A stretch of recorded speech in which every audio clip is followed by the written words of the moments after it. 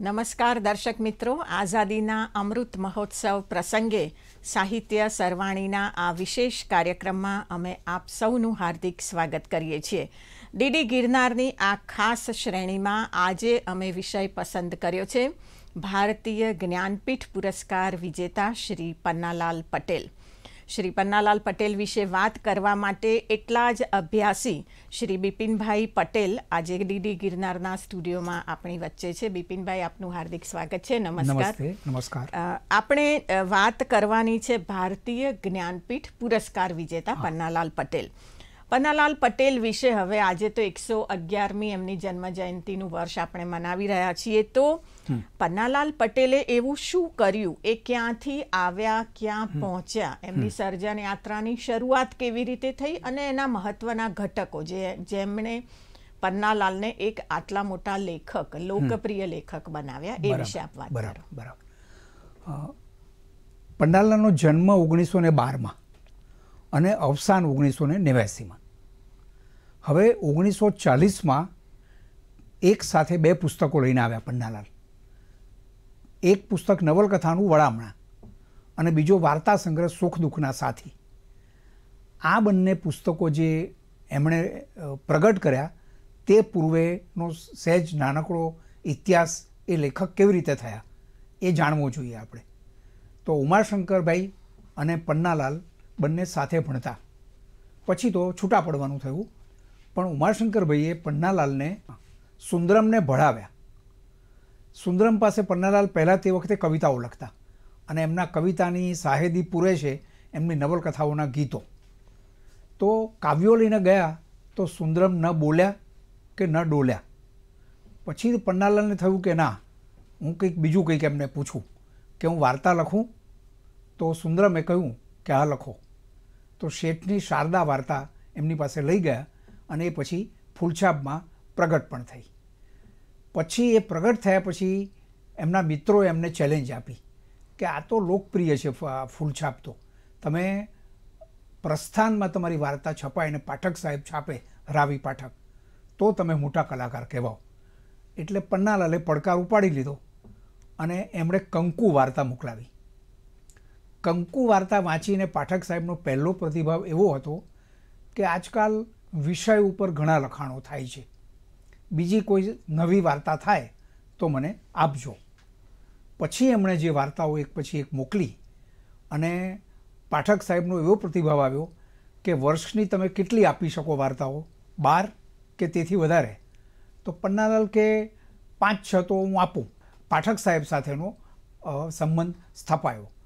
ત્યાર પછી એમણે જ્યારે આ કથાઓ માંડી એમાં વાર્તા હોય કે નવલકથા હોય? ત્યારે ગુજરાતમાં કયું વાતાવરણ હતું? તો ગુજરાત એ સમયે ગાંધી વાદના રંગે રંગાયેલું. એ ગાંધીવાદની સાથે સાથે સામ્યવાદે પણ ખીલો ખોડેલો. પણ સામ્યવાદના ખીલા એવા મજબૂત નહીં. તેથી આખા દેશમાં આદર્શવાદે ઘેલું લગાડેલું. તો આ જે ઘેલું લગાડેલું આદર્શવાદે, એમાં ઘણી બધી રચનાઓ પેલું ઘાણ નીકળે એવી રીતના નીકળતી ગઈ. તે સમયે પન્નાલાલ જરા જુદી રીતે વાત કરનાર સર્જક બન્યા. કઈ રીતે? તો એ વાત એ છે કે સામ્યવાદ જે છે, એની ગરીબો, પીડિતો, શોષિતો માટેની આર્તવાણી અને આર્ષવાણી એને બાજુમાં હડસેલીને લગભગ આખું ગુજરાત અને બીજી ભાષાઓમાં પણ એમ થયું હશે. તો આખું ગુજરાત એ ગાંધીના દરિદ્ર નારાયણ માટેના પ્રેમના માર્ગે સમરસતા તરફ વળી ગયું હતું. તો હવે પન્નાલાલનું સ્થાન આ બધામાં ક્યાં? તો પન્નાલાલનું જે મોટું પ્રદાન એ છે કે કોઈ વાદને વરેલા નહીં. કોઈ એવા મોટા અભ્યાસી નહીં. આપણે પન્નાલાલ વિશે કોઈ પૂછે કે એમના રોલ મોડેલ કોણ? તો જવાબ આવે એકેય નહીં. તો પછી પન્નાલાલે જે સર્જન કર્યું, એનું શું મહત્ત્વ આજના સંદર્ભમાં? તો આજના સંદર્ભમાં ઘણું મહત્ત્વ છે. બે ત્રણ મુદ્દા ઝડપથી કરી લઈએ કે પન્નાલાલ જે છે એ લાગણીના માણસ હતા, પણ લાગણી વેડાના નહીં. એમણે ક્યાંક કહ્યું છે કે ભાવના અસત છે. તો એ ભાવનાશાળી નહોતા. એ પાત્રોના મનોભાવ વ્યક્ત કરતા હતા, પણ ભાવનાશાળીતા નહીં. તો આ એક એમનું મહત્ત્વનું એ છે. પન્નાલાલ કરુણાના સર્જક હતા. એમણે કેટલા બધા પાત્રો સર્જ્યા કે જે કરુણાથી ભરપૂર છે. હવે એમના સર્જનનો કુલ કેટલા પુસ્તકો લખ્યા એની સહેજ વાત કરી લઈએ.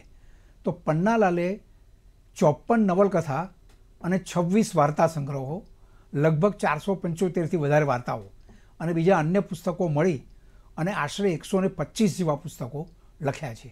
તો આ પુસ્તકોમાંથી આપણને જે સાચા પન્નાલાલ અથવા હજુ આજે પણ પ્રસ્તુત છે એવા પન્નાલાલ, હવે પ્રસ્તુત એટલા માટે છે કે પન્નાલાલ આપણી ભાષાના એવા પહેલા સર્જક હતા કે જે ઉન્નત ભ્રુ વિવેચકો અને સાધારણ વાચકો એ બંનેને એક સાથે આકર્ષી શકતા હતા. તો આપણે આ જે સાહિત્યનો પ્રકાર હતો, એ પ્રકાર અત્યાર સુધી વણ ખેડાયેલો હતો. તો એ પન્નાલાલે ખેડીને બતાવ્યો. એમને જ્યારે પન્નાલાલની આપણે વાત કરતા હોય ત્યારે એ વાસ્તવિકતાના લેખક હતા. એવું વારંવાર કહેવાય છે. તો એમની કઈ કૃતિઓ વિશે અને ખાસ તો તમારે જે વાત કરવી છે કે પન્નાલાલ એમ કહો છો કે ઉન્નત ભ્રુ વિવેચકો અને એક સામાન્ય વાચક બંનેને એક સરખી રીતે સંતોષી શકતા વાચન ભૂખ બંનેની. તો પન્નાલાલની વિશેષતાઓ કઈ હતી એ ઉપર આપણે જો અત્યારે નજર નાખવી હોય તો પન્નાલાલને પોતાને જે પ્રિય હતું અને એ શરૂ કરે છે ભૂલ્યા ભૂલાશે મૈયર માળખાથી પણ નહીં રે ભૂલાય એક આટલું કે કોકદન કરી તી પ્રીત અને પન્નાલાલ પોતે કહે કે મને પ્રેમનું ગાણું ગાવું બહુ ભાવે. તો આ પ્રેમનું ગાણું મળેલા જીવ અને માનવીની ભવાઈમાં એટલી ઉત્કટતાથી ગવાયું છે. તો આપ જે આપ વિશેષતાની વાત કરો છો એ સાથે આ બે નવલકથાઓ ઉપર પણ થોડો પ્રકાશ પાડો. તો પહેલી પ્રેમના ગાણાવાળી મળેલા જીવ. મળેલા જીવથી ગુજરાતી નવલકથામાં બે મોટા ફેરફારો નોંધાયા. પહેલો ફેરફાર એ હતો કે અત્યાર સુધી જે નવલકથાઓ લગભગ એના ઉપર શહેરી ભાષાનો ઇજારો હતો, એ ઇજારો પહેલીવાર તૂટ્યો અને પન્નાલાલ સર્જક તરીકે ગામડાના લોકો એમના સંવેદન, એમની વેદના, આ બધું એક સાથે લઈને આવ્યા, તો આ એક મહત્ત્વનું એમનું મોટું પ્રદાન છે. હવે મળેલા જીવની જો વાત આપણે વિગતે કરીએ, તો મળેલા જીવ નવલકથાને કેવી રીતે કેવી કહેવાય, કઈ રીતે લઈશું? તો પહેલી વાત કે એ ચરિત્રલક્ષી નવલકથા છે. એમાં કાળુ અને રાજુ અને ભગત એ સિવાય અનેક ગૌણ પાત્રો પણ છે. પન્નાલાલે માત્ર બે મુખ્ય પાત્રો પર ફોકસ કર્યું છે એવું નહીં, પણ એમણે બીજા પાત્રો પર પણ જ્યાં જણાય ત્યાં ઉચિત નોંધ લીધી છે. તો એ રીતના આ ચરિત્રલક્ષી નવલકથા છે. એટલે કાનજી જીવી અને ભગત એ ઉપરાંત હીરો ને મણી ને બધા અનેક અનેક પાત્રો મળેલા જીવમાં. પારખા નામનો ગ્રામ સમાજને બરાબર દર્શાવતો એક પ્રકરણ છે. એ પ્રકરણ એ ગામડાના સમાજનું વાસ્તવિક દસ્તાવેજીકરણ છે. હવે પન્નાલાલ કે એ ડોક્યુમેન્ટેશનના તો માણસ નહોતા. એટલે દસ્તાવેજીકરણ કરીને અટકી ન જાય, એટલે એમણે કેટલી બધી ઘટનાઓ, કેટલા બધા પ્રસંગો કે જે મુખ્ય નવલકથાને અનુરૂપ હોય અથવા નવલકથાના મુખ્ય કથાનકને અનુરૂપ હોય, એ પ્રસંગો દ્વારા આખી વાત એમણે વ્યક્ત કરી છે. દાખલા તરીકે જીવી એ કાંજીને કોઈક સૂચના આપવા માગે છે. એટલે પછી તે ઊભી ઊભી કાંટો કાઢવાનો દોડ કરે છે. એટલામાં કાનજી આવે છે અને કાનજીને કહે છે કે આજે ચોરામાં તમારે પેલી સાંકળવાળી વાત નહીં કાઢવાની. તો જીવીના પ્રેમનો બંધાયેલો અથવા એના બોલથી બંધાયેલો કાળું કાનજી એ શાંતિથી બેસે છે ત્યાં ચોરામાં. હવે એ વખતે પછી પેલો ભૂવો છે એ પડકાર ફેંકે છે કે ક્યાં છે આ? આવી જાય મારી સામે આમ તેમ. એટલે ઉશ્કેરાટમાં પછી કાનજી ઊભો થઈ જાય છે. અને ઊભો થઈને કહે છે, તારી માનો ભગવાન મારું? આ શબ્દો મારા છે, પણ ભાવ એમનો છે.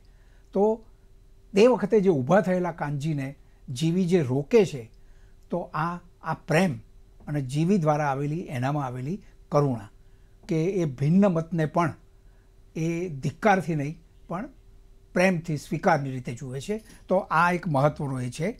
હવે બીજી વાત એમનામાં એ હતી કે યુક્તિપૂર્વકનું આલેખન.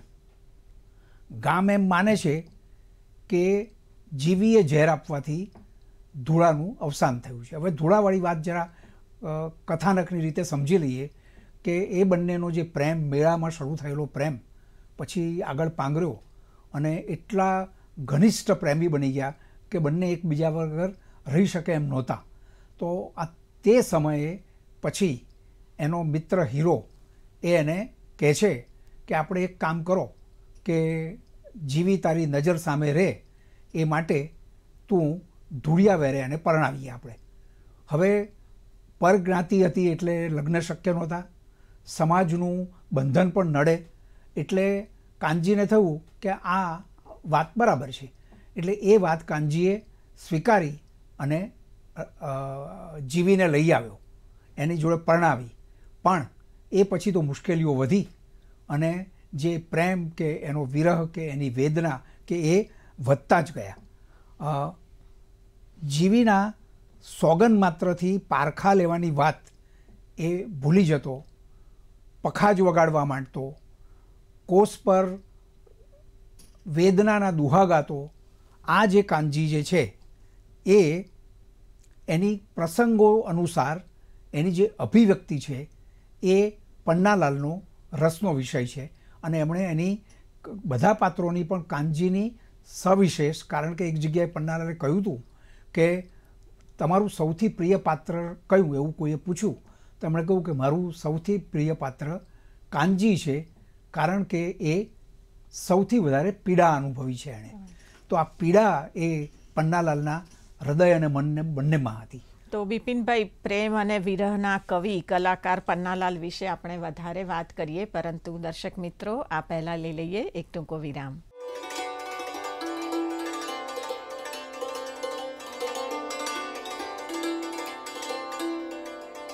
નમસ્કાર દર્શક મિત્રો, સાહિત્ય સરવાણીમાં આજે આપણે વાત કરી રહ્યા છીએ ભારતીય જ્ઞાનપીઠ પુરસ્કાર વિજેતા શ્રી પન્નાલાલ પટેલ વિશે અને એમની વિશે વાત કરવા ડીડી ગિરનારના સ્ટુડિયોમાં હાજર છે શ્રી બિપિનભાઈ પટેલ. બિપિનભાઈ, મળેલા જીવની આપે વાત કરી કે કેવી રીતે આ પ્રેમ અને વિરહનો એક લલકાર મળેલા જીવમાં સંભળાય છે.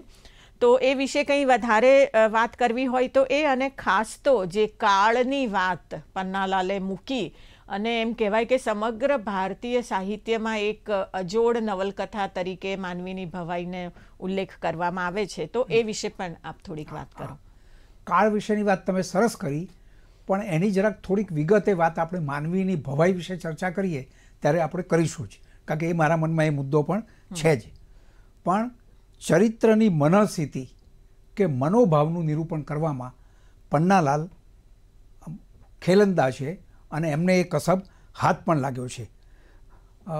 જીવી છે એ ધૂળાના ઘરમાં ગઈ ત્યારની એને દુઃખ સિવાય કશું મળ્યું નથી. પણ જીવી એના માટે કાનજીને જવાબદાર માનતી નથી.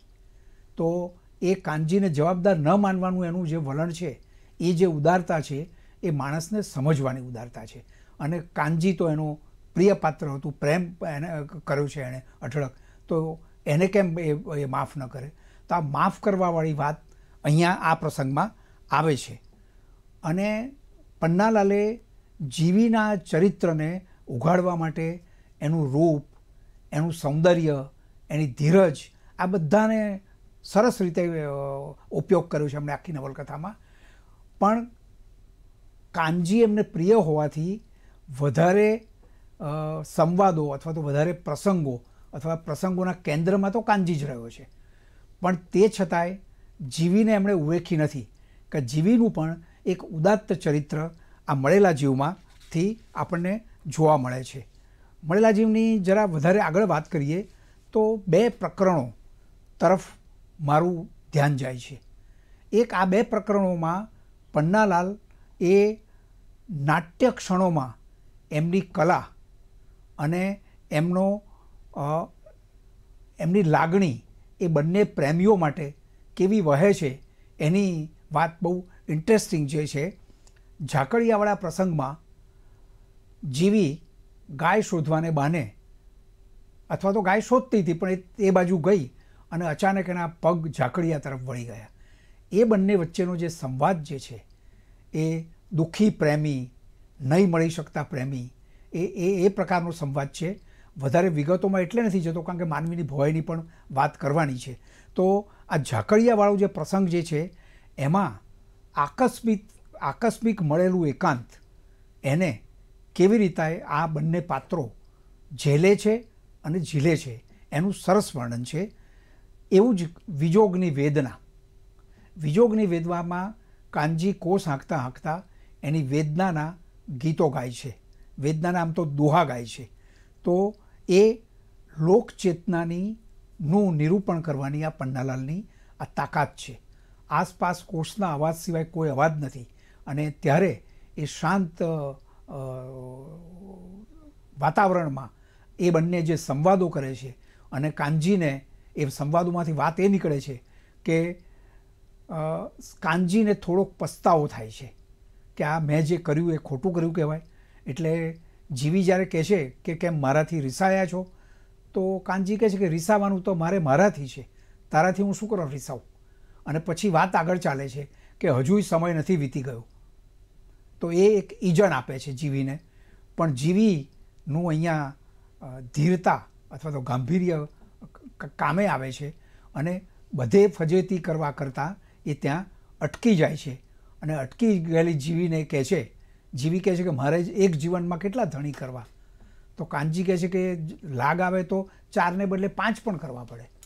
તો ત્યારે પછી જે જીવીનો જવાબ છે કે જીવી એવી કંઈ ધણીની ભૂખી નથી, પણ આ તો સહેજ લાગણી થઈ ગઈ હતી. તો લાગણી જે થવી જે છે વાત છે, એનો ઉપયોગ આખા બંને પ્રકરણોમાં સરસ રીતે કરી છે. એટલે કે આખી જીવ મળી ગયાની જે વાત છે અને એ જ વાત પછી આપણે કહીએ કે બહુ વિશાળ ફલક ઉપર માનવીની ભવાઈમાં આગળ વધે છે. તો મેં જે કહ્યું ને તમે સ્વીકાર્યું કે કાળની વાત આખી જે છે માનવીની ભવાઈમાં તો એ કેવી રીતે પન્નાલાલે કહી છે એ વિશે પણ આપણે ઝડપથી ટૂંકમાં વાત કરી લઈએ. એક અડધી મિનિટ મળેલા જીવનું સમાપનમાં મારે એટલું જ કહેવાનું છે કે છેલ્લે જીવી ગાંડી થઈ જાય છે, ધૂળો મરી જાય છે, એના ઉપર ખોટો આરોપ લાગે છે કે ઝેર એણે જ આપ્યું હશે, ઝેર એણે નથી આપ્યું. એની ખાતરી કરવા કાનજી ત્યાં આવે પણ છે અને એણે ભગતે ખાતરી કરાવી કે જીવીએ આપ્યું નથી. એને પણ મનમાં તો હતું કે જીવી આપે નહીં. અને પછી જીવી જ્યારે ગાંડી થઈ જાય છે, ત્યારે એ જીવીને લઈને અમદાવાદ તરફ જાય છે. તો આ કઈ જીવીને લઈ જાય છે? એણે જે રૂપનો સાગર જોયો તો એ જીવી કે પછી કે જેનામાં આત્મા જ રહ્યો નથી અથવા જે જીવી જ રહી નથી એવી જીવીને તો અહીં આ વાર્તાનો કરુણ અંત આવે છે અને ટ્રેજેડી પણ કહી શકાય. એવી મોટી ટ્રેજેડી આ આ અહીંયા રચાઈ છે અને આ છેલ્લા પ્રસંગને જો આપણે સહેજ બારીકાઈથી જોઈએ તો પન્નાલાલ એટલા ક્રૂર બનીને અંત સુધી પહોંચ્યા છે. અગાઉનો અંત એમણે જુદો વિચાર્યો હતો પણ એ બા, લાંબી ચર્ચાની વિષય છે. તો ક્રૂર બને છે પણ વેવલા નહીં. તો અહીંયા વેવલાઈ નથી, પણ એમનું તાટસ્થ્ય અહીંયા પ્રગટ થાય છે. એ રીતના આ પ્રેમનું ગીત ગાતી એક અદ્ભુત નવલકથા ગુજરાતી ભાષાને પહેલીવાર મળી છે. હવે દ્રષ્ટિબેને કહ્યું કે માનવીની ભવાઈ વિશે વાત કરીએ, તો માનવીની ભવાઈમાં ત્રણ ચાર મુદ્દા ઉપસે એવા છે. પહેલી વાત તો માનવીની ભવાઈ એ પન્નાલાલના સાહિત્યનું સર્જન શિખર છે. એ શિખરે બેઠી છે. મહાન કલા એ વ્યક્તિગત વેદનાઓને ટાળે એવું નહીં, પણ એ વ્યક્તિગત જે વેદનાઓ છે, એને આ વિશાળ સૃષ્ટિમાં એક રસ કરી વાચકને અનુકંપાશીલ બનાવે અને એને એ રીતના પ્રેરે. તો એ મહાન કૃતિ છે. તો આદિ પર્વના અત્યારે આપણને શાંતનું, ગંગા, શિખંડી અને ભીષ્મ યાદ આવે. આ બધા જ આ વ્યક્તિથી સમષ્ટિ ભણીની જે ગતિ છે, એના વાહન બન્યા છે. તો એ વાત પન્નાલાલ પુરાણોના અભ્યાસી હતા. એમના મનમાં પણ હોઈ શકે. એટલે મહાન કૃતિ વ્યષ્ટિની કથાને બદલે સમષ્ટિના દુઃખનું વાહન બને. ઘરે બાહેરીના ત્રણેય પાત્રો એ સમષ્ટિનું બયાન છે. દર્શક મિત્રો, લઈ લઈએ અહીં એક ટૂંકો વિરામ.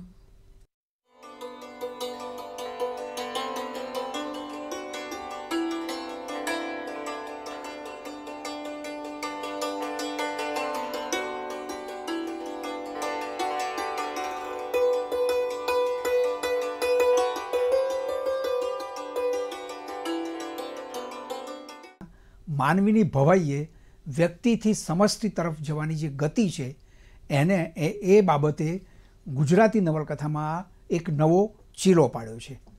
હવે કાળુની વાત એ માત્ર કાળુની ન રહી, પણ ગુજરાતની સરહદના કેટલાક દાયકા પહેલેના, પહેલાંના જે ગામડાઓ છે, એમાં વસનારા નવા અને જૂના જમાનાના સંધિકાળે ઊભીને અમળાતા ગામડાની વાત છે. હવે આ વાર્તાને, આ નવલકથાને કાળ પ્રધાન નવલકથા પણ કહી છે. તો મહાભારતમાં યક્ષ સાથે જે પ્રશ્નોત્તરી થાય છે, એમાં યુધિષ્ઠિરે એક જવાબ આપ્યો છે કે મોટામાં મોટી વાર્તા એ કાળની વાર્તા છે. તો આ પ્રશ્નને જો બરાબર સમજ્યા હોય અને નવલકથામાં કલાત્મક રીતે જો ઢાળી હોય, તો એ પન્નાલાલ છે. કારણ કે પન્નાલાલ એક ચમત્કાર હતા, પણ અકસ્માત નહીં. તો આ જે ચમત્કાર જે થયો છે, એ જ આ સર્જકા કરી શકે. તો કાળની ગતિ છે ધીમી હોય છે. એ પાત્રોને એની ગતે ચલાવવા પડે, કાળની ગતે. અને લેખક એમાં યથોચ્છ ઉમેરો કરી શકે નહીં. કાળ એટલે વ્યક્તિઓના વૈયક્તિક અને સામાજિક કર્મોનો તાણો અને એમાં ઉમેરાતો દૈવનો વાણો.